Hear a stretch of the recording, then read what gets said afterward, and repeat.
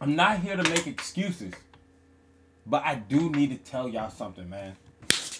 What's going on, y'all, man? It's official Dre Live. Let me fucking time out. Now, like I said, it's not my fault. It's it's not my fault. I tried, but I tried to also be cheap in the process. If y'all do not know, obviously you don't because I don't say nothing nor post about it. But you feel me? We were supposed to make a reaction video, and people wanted Rey Mysterio as the intro, and people also wanted uh Randy Orton, and then behind that I think was Kofi Kingston. Right? I will be doing that intro, but in the same time, in the same time, the Juice WRLD reaction. Now, it's not that I've stopped doing the Juice WRLD reactions. Oh, no, no, no. That is just not, that's just never gonna happen.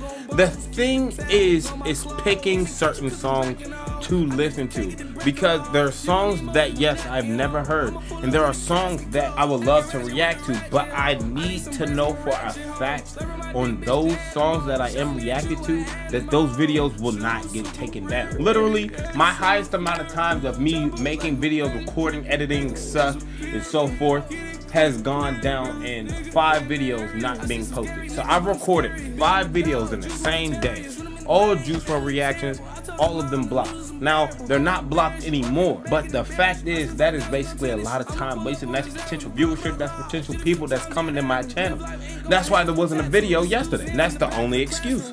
It's not that the video got blocked. It's more so I fear, I fear that in the in the chance of me making another video. It, it, the chances of me making another Juice WRLD reaction and stuff like that, I could get a copyright strike, you know. And honestly, I don't want to deal with none of them. So I want to, uh, I, I, want to just keep making my reactions without that fear of my video being taken down. That's why I reached out to Red Lemons, and he did say I can react to any of his videos. But the thing is, I don't want it to be where he posts a video and then seconds later I'm reacting to the video he just posted. That feels like I'm leeching off of him, right? And I've tried to reach out to some of the other content creators in terms of these reactions and other things like that. Kind of sort of the same thing. Nobody wants to have their videos taken down. Nobody wants to have a strike on their channel because that throws off the entire rhythm. One of my, uh, one, well, another person that does Juice WRLD reactions, their channel got terminated.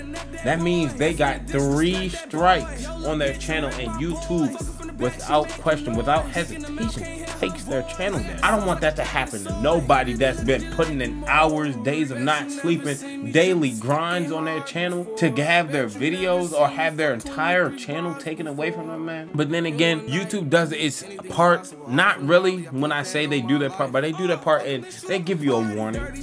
You know, they tell you something, you know, review this, look at that, you know, take this test so you understand, you know, the the ins and outs so you don't get this thing again. But it's the fact of when you think, when you think that you've read it and you think you understand the rules and you go to post something and then you get your second strike. It's not my fault, man. I don't want to risk getting another strike on my channel. I don't want there to be any strikes. I don't want there to be anything because I do not want to get my channel terminated, man. Yes, I will probably have like another channel because I want this channel to be kind of strictly for my uh my reaction videos and then I'll probably just have another one where I just vlog or when I'm outside because some days I hate being in the house.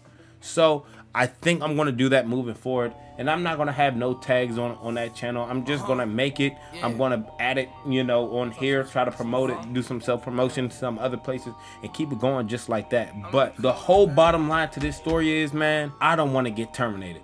Because I already know, I know for a fact, recently, somebody within my niche, somebody who makes Juice WRLD videos daily, got terminated, bro. And I don't want to be the next victim. So with all that being said, man, just a quick update. Even if you don't care or if you do, that's where I'm at. And yeah, man, enjoy the rest of your day. Peace.